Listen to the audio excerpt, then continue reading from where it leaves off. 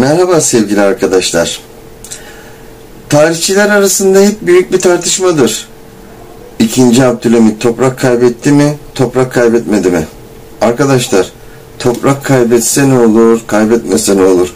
İmparatorların veyahut da imparatorlukların ve devletlerin başında olan insanlar bir savaşa girmek zorunda kaldıkları zaman bu savaşta zaten e, ya kaybedersiniz ya kazanırsınız veyahut da bitmeyen savaşlar neticesinde bir, oturup bir sulh anlaşmasıyla e, barışı tesis etmeye çalışırsınız. Fakat nedense 2. Abdülhamit Osmanlı Devleti içerisinde panislamist bir düşünceye sahip olması sebebiyle birçok kişileri tarafından özellikle yurt dışındakiler, Müslüman olmayan insanlar tarafından bu gayet olumlu bir şekilde anlaşılabilecekken ülkemizde Müslüman olduğunu iddia eden bir takım insanların Abdülhamit'in izlemiş olduğu politikaları aşağılamak yönünde bir sebep ve gerekçe aramaları çok komiktir. Arkadaşlar Abdülhamit'in nasıl tahta çıktığını incelemeniz gerekmektedir. Yani Sultan Abdülaziz'in gerçekleştirmiş olduğu bürokratik ve askeri atamalar sonucunda aslında kendi sonunu hazırladığını, bu bürokratların ve askerlerin işbirliği içerisinde Sultan Abdülaziz'i tahttan indirdiklerini ve bunun çok kısa bir süre sonra sultanın iki bileklerinin kesilerek öldürüldüğünü, yerine geçenin ancak tahta 93 gün kalabildiğini, o sırada Anadolu'da da Osmanlı'da da bir ekonomik buhran ve kıtlık olduğunu ve bu sebeple bu zor şartlar altında tahta duramayan 5. Murat'ın yerine mecburluk mecburen 2. Abdülhamit'le anayasal bir sisteme geçmek suretiyle anlaşılıp kendin tahta kendisinin tahta çıkartılması üzerine birinci meşrutiyet ilan edilmiş fakat bir seçimler yapılmış parlamento oluşmuş fakat ne olursa olsun ikinci Abdülhamit tahta geçmekle iktidarın sahibi olamamıştır. İktidar halen darbecilerin elindedir. Ve bu darbeciler imparatorluğu imparatorluğa çok ağır bedeller ödettirecek Osmanlı-Rus savaşına sokmuşlardır. 93 Harbi ismiyle anılan savaşa sokmuşlardır. Ve bu savaş neticesinde de Osmanlı ağır bir yenilgiye uğramıştır.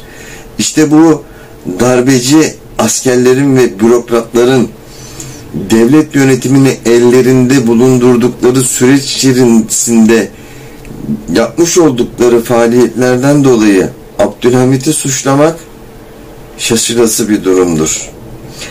Daha sonra savaşın kaybedilmesiyle birlikte meclis kapanacak. Abdülhamit ikinci Mahmut'un yolundan gidecek ve devleti 1908'e kadar kendisi heyet ayanla birlikte idare edecektir. Ve bu ettiği süreç içerisinde de şaşılacak bir başka durum da kanuni esasiye yani anayasaya sıkı sıkıya bağlı bir şekilde işlemleri devlet işlemlerini gerçekleştirecektir. Bundan sonra 1908'de ikinci meşrutiyetin tekrar ilan edilmesi ardından da yapılan seçimler sonucunda mecliste çoğunluğu iddiaçılar almasına rağmen iddiaçılar, vatanseverler, birlikçiler, terakki, ilerleme, gelişme, Osmanlı'yı tekrar eski güçlü günlerine döndürme, dini inançları sahip olan Müslümanları, Türkleri, Türk İmparatorluğunu tekrar güçlü bir hale getirme. Öyle mi arkadaşlar? Peki bunu bir incelediğimiz takdirde şöyle bir bakalım. Bakın arkadaşlar elimde bir kitap var. Bu kitap Şerafettin Turan tarafından yazılmış Türk devrim tarihidir.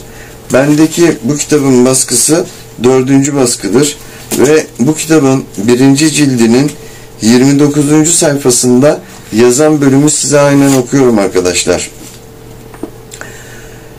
İkinci meşrutiyet yönetimine geçmenin doğurduğu özgürlük bunalımından yararlanan Avusturya, Bosna Hersek'i kendi topraklarına kattığını 5 Ekim 1908'de ilan etmişti.